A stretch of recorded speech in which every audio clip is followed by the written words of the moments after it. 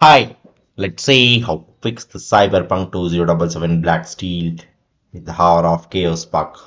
Are you frustrated by the elusive Black Steel in the Hours of Chaos bug in the Cyberpunk 2077, preventing you from progressing through this thrilling quest? You are not alone.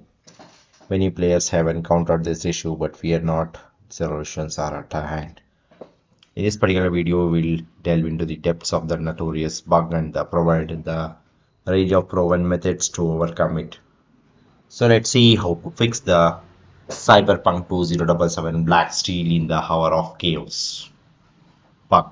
The first method is reload the previous save. If it is possible, try loading the saved file from before you encounter the bug. This can sometimes reset the quest triggers and allow you to progress without the bug affecting your gameplay to reload the previous save in the Cyberpunk 2077.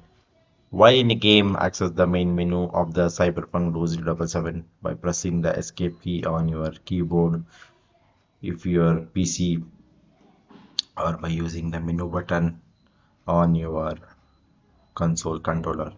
Look for the option within the menu that allows you to load the saved game. This may be labeled as the load game in the load menu, you should see the list of available saved games.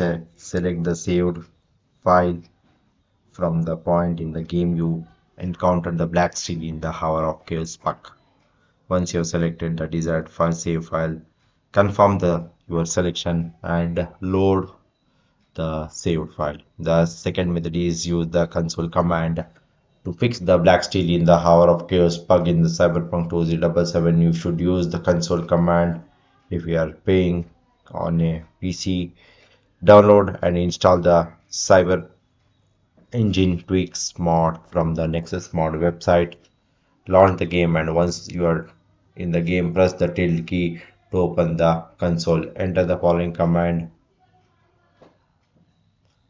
This command should help you to help the Black Steel in the Hour of Chaos bug in the Cyberpunk 2077. However, always make a backup of your saves before attempting any modifications to avoid the potential issues. The third method is update the Cyberpunk 2077. Ensure uh, that your game is updated to the latest version. Developers often release the patches and updates to address the known issues and bugs Updating the game may include the bug fixes that resolve the Black Steel in a Hour of Chaos quest bug to update the Cyberpunk 2077 for console platform. Updates are typically managed through the platform system settings or the game's menu. Navigate to the game settings or the system's update section to check and install the updates.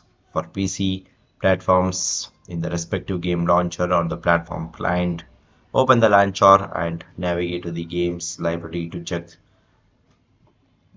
for install the updates. The fourth method is contact the Cyberpunk 2077 support team. If you have tried all other troubleshooting methods and if you're still facing the problem, you can contact the support team of the 2077 Cyberpunk. Their expertise, they will help you to fix the problem and they will give you the better solution. Okay, so that's all about this. Thank you